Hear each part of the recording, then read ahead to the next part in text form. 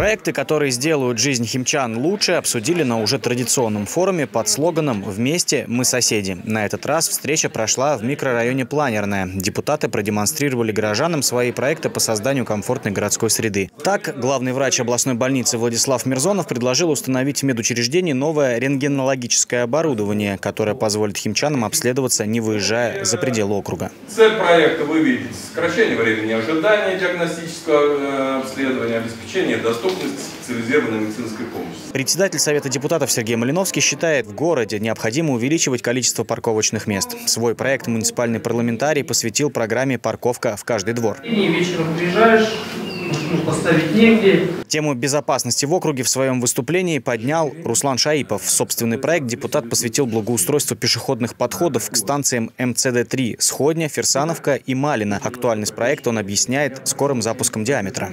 Три предлагаемых станции, точнее подходов к этим станциям, предлагается благоустроить. Обеспечить жителей округа качественным активным отдыхом предложил депутат Алексей Федоров. Его проект основан на реконструкции горнолыжной базы «Родина». Необходимость ремонтных работ он аргументировал еще и привлечением детей к занятиям спортом. А лидер движения общественной поддержки Олеся Климачева считает, учиться подрастающее поколение также должно в комфорте. Ее проект – капитальный ремонт гимназии номер 23.